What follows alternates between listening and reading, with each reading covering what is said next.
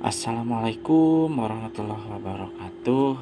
Jumpa lagi bersama channel CCT Video Underspoon Kali ini saya mendapatkan satu buah radio Handytalkie dengan merek Motorola tipe GP2000 Kesempatan kali ini kita akan coba kita akan coba untuk menyeting frekuensi baik itu secara direct ataupun itu secara duplex oke tanpa berlama-lama tanpa basa-basi kita coba aja untuk nyalakan HT ini. Tapi sebelumnya mohon maaf ini mempergunakan power supply dikarenakan baterainya sedang ada masalah Tuh, kita coba nyalakan untuk HT Motorola ini. Rumah di rumah Oh, ada. ada Ada frekuensinya ini tahu di berapa ya frekuensinya. Oke lah kalau begitu Tadi kita reset aja dulu. Kita reset aja, kita kembalikan eh, terlebih dahulu kita kembalikan ke pengaturan pabrik untuk HT Motorola ini dengan cara ini ada tombol function. Sekalian saja ya tutorialnya di sini. Untuk mereset sebuah radio HT Motorola dengan tipe GP2000 dengan cara tekan dan tahan function lalu tekan min lalu kita nyalakan. Nah di layar akan muncul tulisan init oke kita oke kan menggunakan tombol PTT oke inisial nah ini sudah kembali ke pengaturan pabrik dengan demikian frekuensi yang tadi tersimpan di eh, memori 01 sudah tidak ada sekarang sudah hilang. Untuk mengisi frekuensinya kita langsung saja ininya dimatikan dulu untuk power perangkatnya dimatikan dulu. Untuk mengisi tekan dan tahan tombol function kita coba lalu kita nyalakan radionya.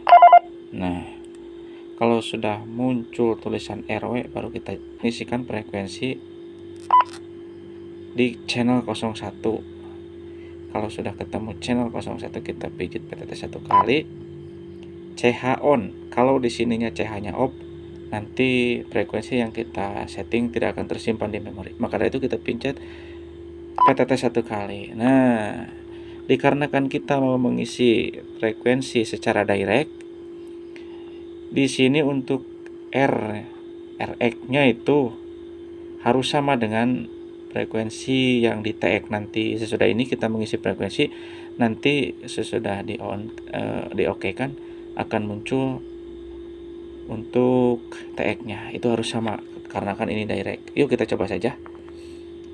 Eh, receive-nya di 1 4 2 600 nah kalau sudah tertulis channel frekuensinya sini kita pijit PTT satu kali. Nah ini T itu untuk transmit. 1 4 2 6 000 nah ini untuk transmitnya sudah ketemu. Kita pencet lagi PTT satu kali. Nah ini sudah tersimpan otomatis untuk di memori channel 01 kita coba ya matikan dulu perangkatnya. Kemudian kita nyalakan kembali. Nah udah ada ini. Ini di 142600 142600 lalu kita coba untuk receive dan transmitnya. Mempergunakan atong yang satu lagi ini 426700 kita coba untuk receive-nya dia untuk receive-nya yang Motorola ini. Kita coba pencet ada ya? Ada. Sekarang kita coba untuk Iya ya. Oh, hati-hati. Ah, jalan. apa tuh Kenapa bikin? Nah, apa ini duh kita coba untuk transmit. Oh, ada. Ada. Kita dengarkan nah transmit sudah ada.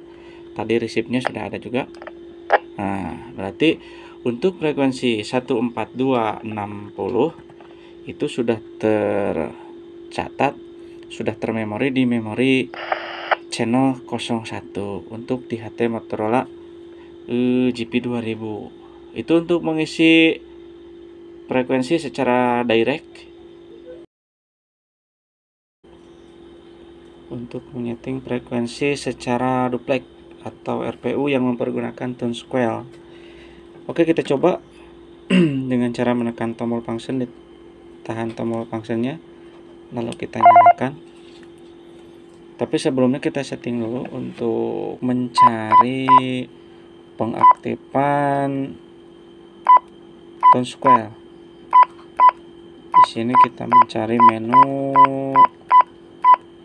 PL nah, ini ada PL kode ini kalau kita mau mempergunakan frekuensi yang mempergunakan tone square maka PL kode ini harus dirubah dulu menjadi frekuensi.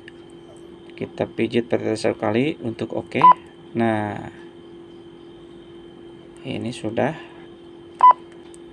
Kita coba frekuensi nomor 2 dikarenakan yang nomor satu tadi sudah ada isinya yaitu 14260 ya. Kita coba frekuensi CH02 kita pijit PTT satu kali untuk oke OK. CH nya sudah on. Untuk RX nya RX nya kita coba satu. RX nya kita coba di 14292.0 untuk RX sudah kita pijit PTT satu kali untuk di oke kan? Transmitnya 143 eh salah ya. Satu empat tiga lima dua. Poin kosong. Nah. Lalu kita pijit PTT satu kali untuk oke OK. RPL ini untuk RX tone square. Nah ini untuk tone square TX nya kita akan coba.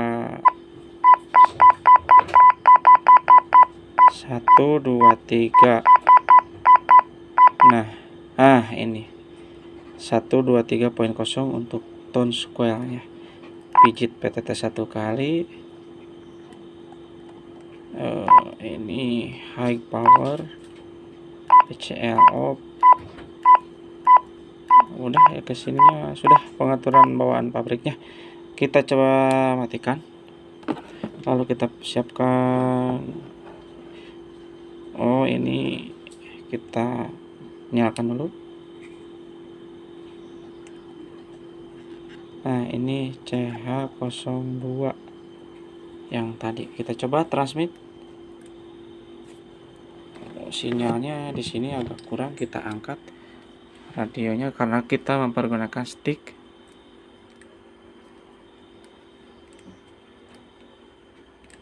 Nah ada? Nah, suara timbal baliknya ada?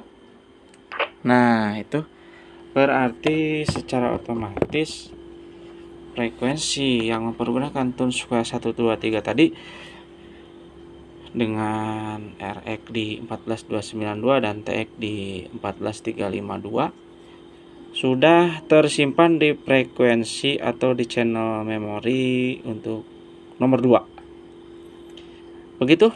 Terima kasih rekan-rekan yang telah bersedia untuk meluangkan waktunya untuk menonton. Mudah-mudahan menjadikan edukasi dan juga hitung-hitung untuk dokumentasi di saat saya lupa saya bisa melihat kembali tutorial yang saya ini karena kan manusia itu tidak luput dari lupa begitu rekan-rekan terima kasih untuk menyeting tombol ABCD nya insya Allah nanti pada pertemuan selanjutnya Terima kasih rekan-rekan yang telah meluangkan waktu untuk menonton. 5155 Juret Julu, Juret Julu 10, Cali-cali tangguh di sini. Terima kasih.